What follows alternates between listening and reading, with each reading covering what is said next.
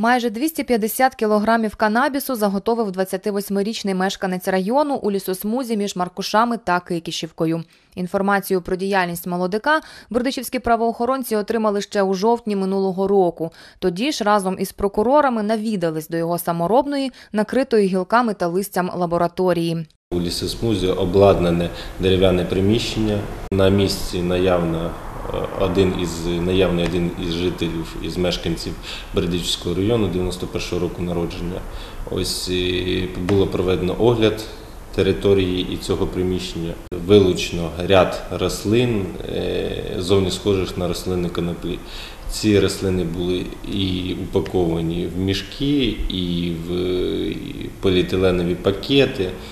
Ось проведено огляд їх ці рослини всі вилучено було спрямовано на експертизу. Крім того, там було вилучено на місці події рушницю, е, снаряди до цієї рушниці, патрони, е, предмет зовні схожий на кастет на холодну зброю.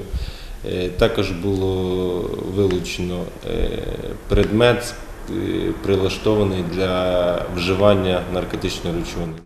Спочатку чоловікові інкримінували тільки незаконне зберігання наркотичних засобів. Сам він стверджує, що усю марихуану, а це майже 245 кілограмів, заготовив виключно для себе, а не для продажу.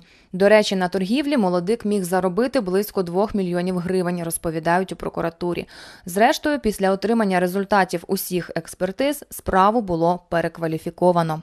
Особі повідомлено про підозру у вчиненні злочину, передбаченому частиною 3 статті 307, а саме е, збут е, наркотичних засобів е, у особливо великих розмірах, особи, яка раніше вже вчиняла подібний злочин.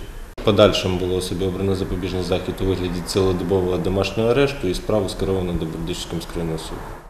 У прокуратурі зазначають, що затриманий чоловік перебуває на обліку у нарколога як особа схильна до вживання наркотиків. Також він уже притягувався до кримінальної відповідальності за цими самими статтями. Нині йому загрожує до 12 років в'язниці.